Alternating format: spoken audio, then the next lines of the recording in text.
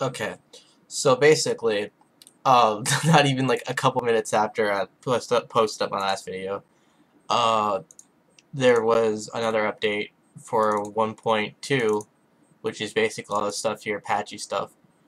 And pretty much essentially, if you're going from 1.1 to 1.2 doing all the stuff I did, uh, to make the install less confusing as possible because it changed a lot of shit. Like, here's the startup UI.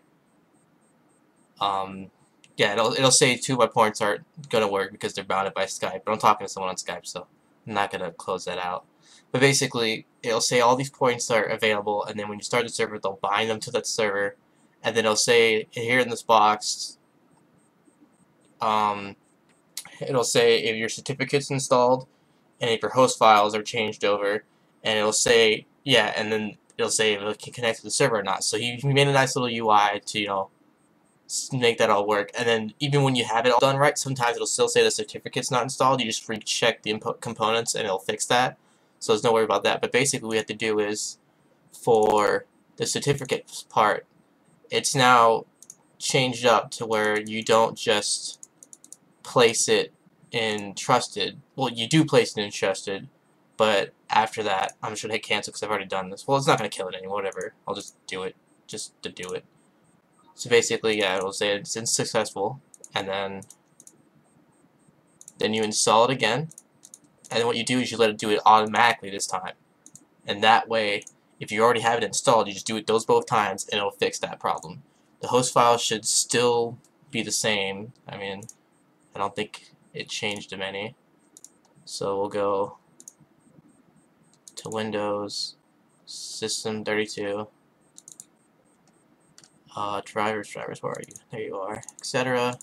Copy, modify, doesn't matter because they're the same fucking host anyways. And go all the way back. Then I already have an origin installed, so you just install it with that. It doesn't change anything. You just make sure that you don't have uh, shared hardware specifications and you know updates. You just make sure you don't check those during the install.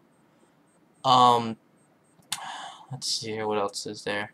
Oh, the Apache thing, I had a bit of a problem with this. Um, it wasn't working properly when I first updated the whole thing. But what I did was, I took the config thing back out of the folder, and I put it back up here. And I think that's what fixed it, because the PID was missing, and then every time it runs now is when it runs with the PID. Like, see, normally I can't have it running, but when I have my Skype off, and I you start it starts up now, so you don't have to run it manually anymore. The starting will fix that for you. It'll do all that stuff for you. So he he really improved the start exe. It doesn't just freeze up and stuff like that. I don't know why I opened it back up, but um, yeah, and that's pretty much it. And after that, you just download the game from Origin because you should be able to log in now with just some random whatever. Like it even Origin even automatically puts your thing from the start exe onto his his email address and you just type in whatever password. It doesn't really matter. You can change the fucking email thing if you want. It's just a dummy thing. But you download the game and then it's basically a roll the dice. You either will get in or you won't. So best of luck to you on that. This should clarify basically everything up. Um, the Stunnel folder after this update, doesn't matter, it won't fuck with the start exe anymore, or anything, so you can leave that if you want, but I just deleted it anyways, just in case it did do anything later on. So I just re-deleted it after I restored it.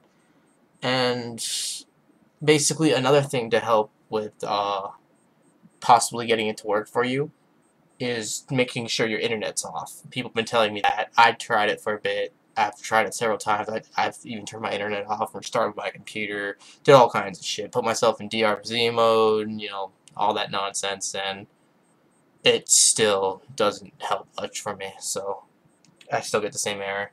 But hopefully I'll eventually be able to come across fixing it, and I can tell other people how to get past it, and, you know, all that fun stuff.